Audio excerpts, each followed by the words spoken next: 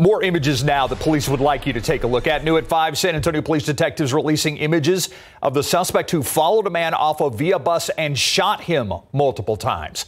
Take a look at your screen. Do you know who this is?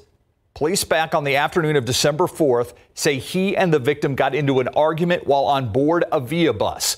When the bus stopped at the corner of South Zarzamora and Merida Street, Meredith Street, investigators say the victim got off and so did the suspect. Police say he shot the victim, then took off running. The victim taken to the hospital with life threatening injuries.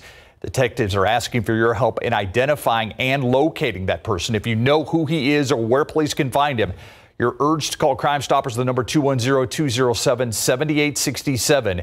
You do not have to give your name or identify yourself.